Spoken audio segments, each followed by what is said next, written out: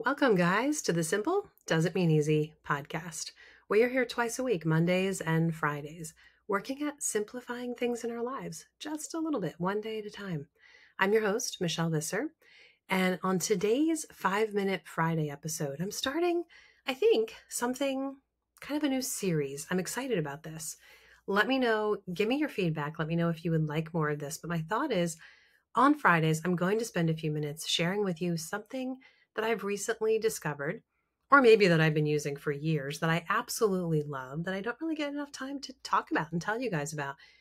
I have been on a mission for the past year or two to, in the places that seem the most reasonable to me, to try to swap out a toxic item for a non toxic item. And it's been harder than I thought. I started with shampoo and I was so discouraged. I was to the point that I was ready to just use the chemical based stuff and move on with my life. And I think sometimes that's going to happen, guys. Sometimes you're just not going to be able to find what you need that is as clean of a product as you would like. And then you need to decide are you making a compromise? You know, where are you going with it? But for me, every single non toxic shampoo or conditioner that I tried literally stripped my hair of any curls and it just made it horrible. Just so, I won't even go into all the details. I just was going crazy. And it took like many weeks or a month or two for my hair to recover once I stopped using the non toxic and went back to my old shampoo. So I was really discouraged until I found what I'm using now. And I'm so excited about it. I had to start here with our non toxic home Fridays. Um, by the way, if you want to know more about a little bit about our journey on this topic and some of my inspiration, well, first of all, just a few episodes ago, episode 117, it was called Facing Challenges, Setting Goals, and Making the Best Product. I talked to two sisters who had started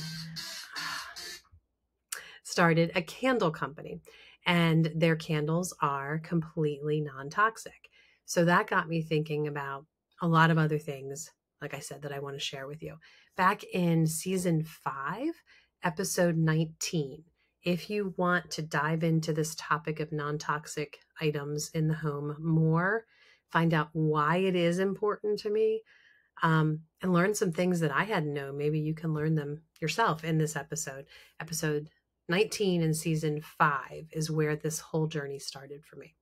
Okay, so the shampoo and conditioner I'm using, guys, I am in love with these. If you go to soulyrested.com slash non-toxic, N-O-N-T-O-X-I-C,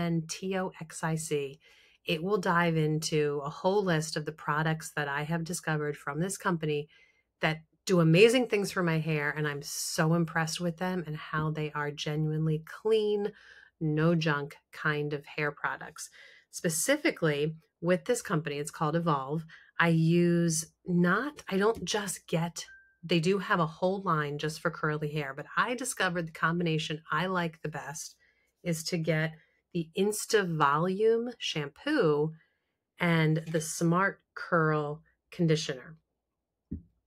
And I do have some tips for you that I've learned along the way of how to conserve and save a little bit of money because they're not cheap. When you go non toxic, it's never cheap. Before I give you those tips, let me quickly run down why shampoo was a place that was important for me to start because I had learned some of the ingredients in shampoo do really bad things, really bad things for us and our health. Now, there are the typical things like the sulfates, uh, the retinol palmitate, I think you pronounce it, the alcohol. I can't even read these things. Um, I can't pronounce them, but a lot of the things are just bad for your hair. What I want to focus on for just a minute are the things that are really bad for your health. There are hormone disruptors in most shampoos that you buy today. These are man made chemicals that literally interfere with our body's hormonal system. You see, our hormones are continually sending messages right? It's like a communication system of our entire body. But when these man made chemicals that mimic the hormones bind to the hormone receptors, it prevents our hormones from sending any correct messages and they can't regulate our body functions correctly. and our endocrine system is completely out of connection with, you know, our body can't communicate. And it really leads to significant health problems, guys. It's really scary. Look up hormone disruptors and find out a little bit more if you don't know more about that.